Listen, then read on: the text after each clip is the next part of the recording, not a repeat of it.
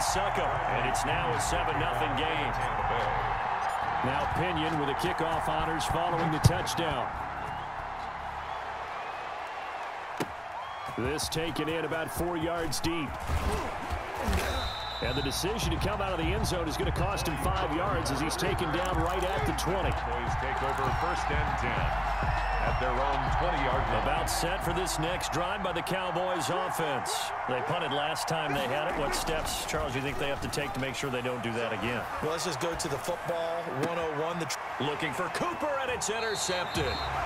Picked up by Sean Murphy Bunting. What a start defensively. Uh, your offense goes out, gets the touchdown, and then you get the interception. Just perfect. How about the discipline that they showed on defense? Because after the offense scored to go up 7-zip, you would think they might be a little extra aggressive trying to get back at them. Instead, they read their keys well. When they took the shot downfield, they were more than prepared for that one. Chidobe Awuzie there to make the play in coverage. That was nice work there defensively to force incompletion. Now, even though this drive started in plus territory, they're still not in field goal range yet. So they can work towards another couple of stops and not allowing that turnover to hurt.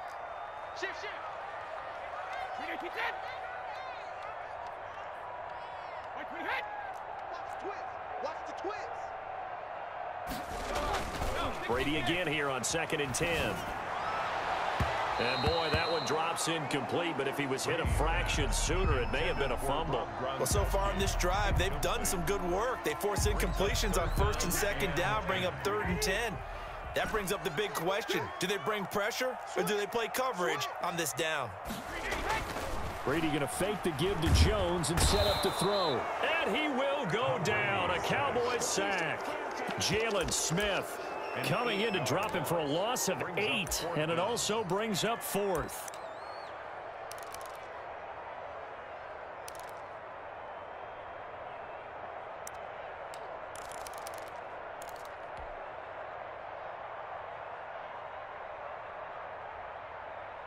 Wait, that. Down 80. Down 80. I got you, boy. I got you, boy. 72. They'll go for it. It's Brady.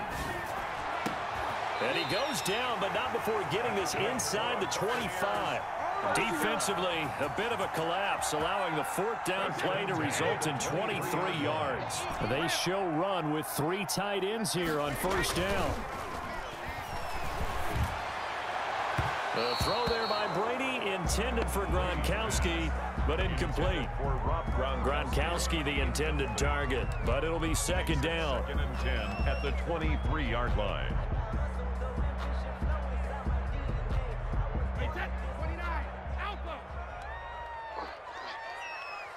Hey, check right, check right. Watch it, Hey.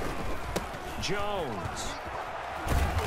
And he'll be brought down inside the 20 at the 19. Four yards the gain, and it'll bring up a third down. It's a gain of four. Brings up third and six. Check 55, Mike. Hey, watch the screen, watch the screen. Alpha. They'll run it with Jones. And he won't be close to a first down as he runs into a wall right around the line of scrimmage. Now the offense going to use the first of their timeouts. They'll have two remaining as we step aside here in this first quarter. And this should be the final play before the quarter ends. I'm, I'm coming up to you. They'll go with Jones.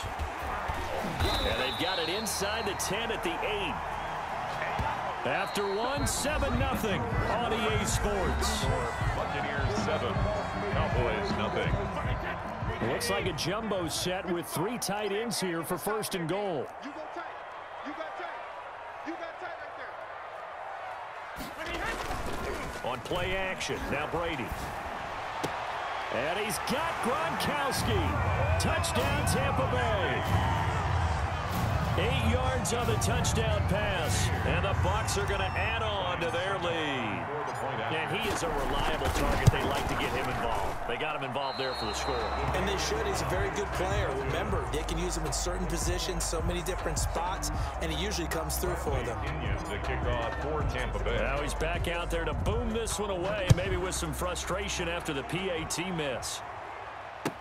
Taken about seven yards deep. And that decision to bring it out ends up not being a good one. Costs him about five yards as he's tackled at the 20. First and 10 at their own 20-yard line.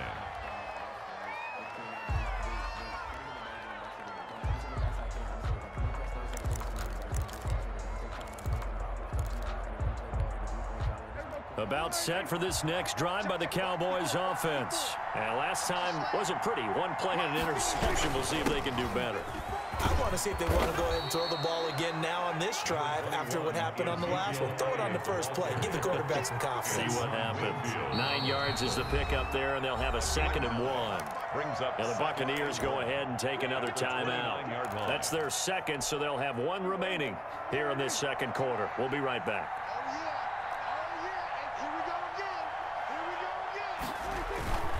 This is Elliott.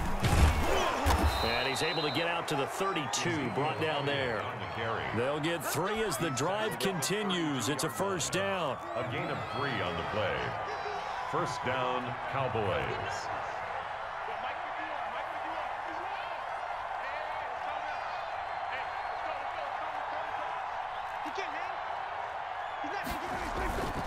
Now Elliott. And he went backwards. He'll be down at the 30. Officially, it's a one-yard loss. That's going to bring up second and 11. This defense is really flown around in the first half. They've gotten to the ball carrier before they can really get started.